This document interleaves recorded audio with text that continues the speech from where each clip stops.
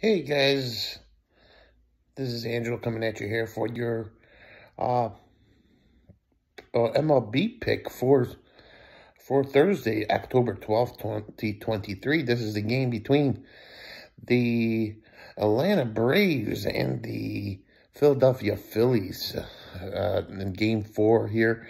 This is a pretty big matchup here. We got uh, Ranger Suarez going on for the Phillies and the uh, Strider going on the mound for the um, Atlanta Braves. I know it's late in in, in today's game, but uh, let's get right to it. Uh, we got Strider uh, and in the Atlanta Braves at minus 150. The total is at eight and a half.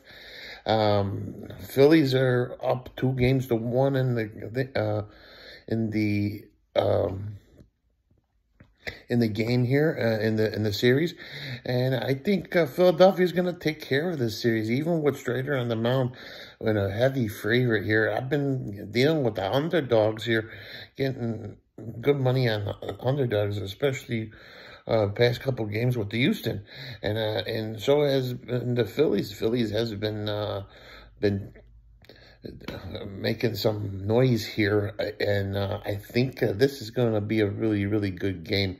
I think uh, Strider's going to keep it low scoring, and uh, I think, uh, but I think the timely bats is going to be really what uh, Philadelphia needs. They're seeking, they're, they're, they don't want to go to game five.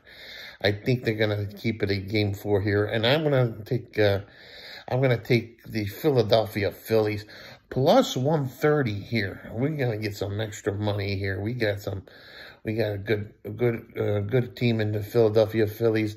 They don't call a Red October with the Philadelphia Phillies for nothing. So I'm taking Philadelphia Phillies uh, on the money line and going to take that one right to the bank here.